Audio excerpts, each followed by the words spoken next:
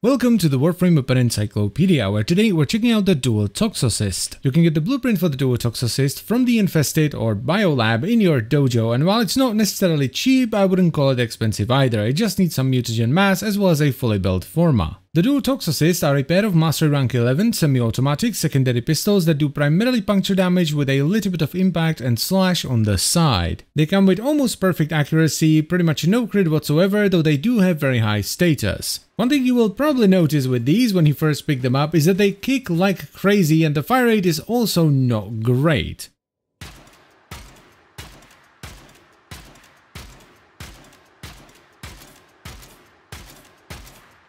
However, that's very much not a problem with these because you see they come with a unique mechanic. Whenever you hit a headshot with them, you gain a buff called Frenzy, which gives you infinite ammo, a ton of fire rate and it dampens the recoil. Plus, it also grants you 100% of the weapon's base damage as extra toxin. This buff lasts for 3 seconds and you can refresh it at any time, so as long as you hit a headshot in that 3 second window, you can just keep going on and on and on. So it's kind of similar to the headshot mechanic on the Knell pistol. Now as far as the build is concerned, I personally personally like this one the most, where I run 3 dual stat mods for Corrosive and Heat, Augur Pact for a little bit of extra damage, and then Anemic Agility for a ton of extra fire rate. The extra fire rate is particularly good here because it adds a ton of DPS, and since you get infinite ammo with the Frenzy buff, you can just fire at maximum fire rate and not have to worry about reloading at all. You also don't have to worry about the recoil you get from firing at maximum fire rate either, since that's being dampened by the Frenzy buff as well. Now, as far as performance goes, it's um, serviceable, I would say. You can definitely feel the lack of crit on this one. The damage is not amazing. The status does go quite a long way here, but once you get to level 80-ish, the heavier units, like your heavy gunners, bombards, napalm, scorches, that kind of stuff, are gonna take far too many shots to take down. And it doesn't feel great even with the infinite ammo and a ton of extra fire rate.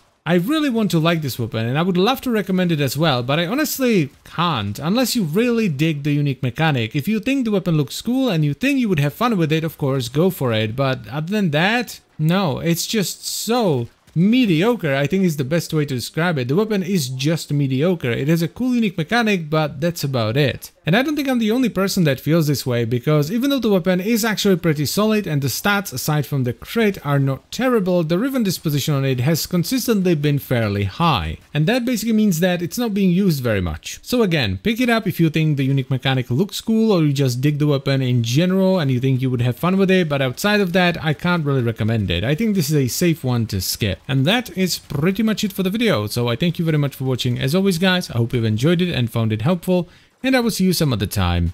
Bye bye.